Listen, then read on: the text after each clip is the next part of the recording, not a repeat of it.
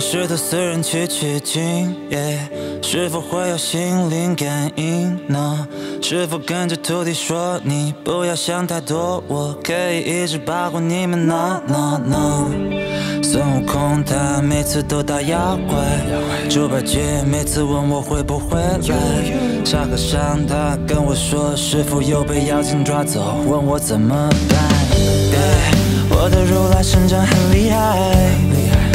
是低调，我不说佛祖，你给我超能力，让我去西天取经。这故事你想不想听？No No No，我的如来神掌很厉害，我们可以一起打妖怪。金箍棒了，沙和尚了，八戒胖了，师傅够了，请你乖乖做个善良小孩，你是我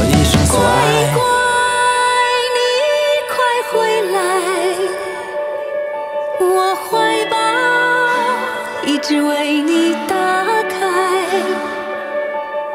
乖乖要真心悔改，你永远是我最爱的小孩。悟空说的是有求必应，那改不掉的毛病。我这偏头痛说忘不掉的旋律。你说我这脾气，你说我这坏脾气，你说我这臭脾气。我告诉你，取经才不容易。克服九九八十一难，你还要过难堪？别问我为什么这么难，人生就像取经，你想要成长就必须经历苦难。如果佛祖是你的后盾，请你人生不要留有任何遗憾。孩子，孩子，为何你这么坏？欺负欺骗，为何？学会做好小孩，相亲相爱，关怀就在心中充满色彩。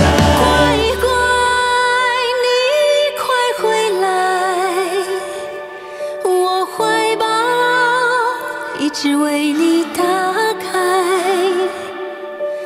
乖乖要真心悔改，你永远是我最爱的小孩。life.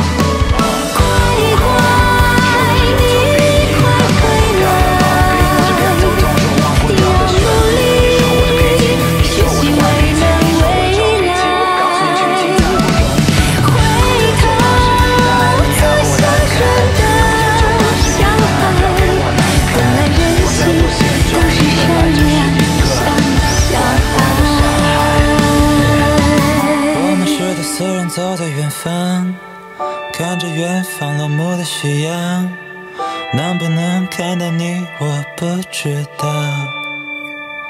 耶